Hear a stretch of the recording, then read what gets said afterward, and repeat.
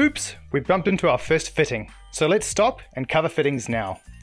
This series of six quick tech snacks is designed to remove that nagging fear that you're missing some important detail about what's involved in building a custom loop. Fittings can be the most overwhelming part of liquid cooling.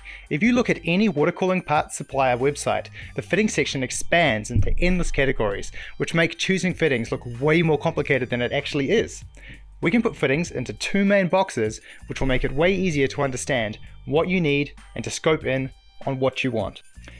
One group is tube fittings.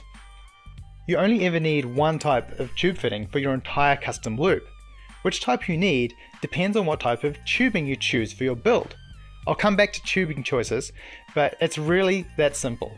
One end of a tube fitting connects to a tube, the other end will have a G-quarter thread everything you might want to connect tubes to will have G-quarter thread ports, so you can connect any tube fitting to anything.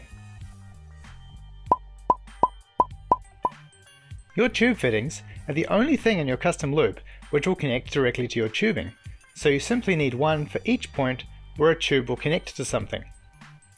Every other kind of fitting you will see is essentially a way to make your G-quarter ports longer, bendier, wigglier, invisible, or more useful, such as in the case of a valve or thermometer. There are a couple of exceptions to this rule, like 90 degree bends with tube fittings built in, but these details are just a matter of economy and style.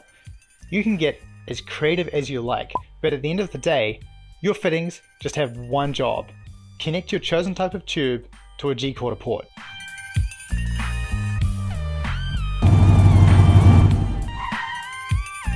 Next episode, tubing and pump.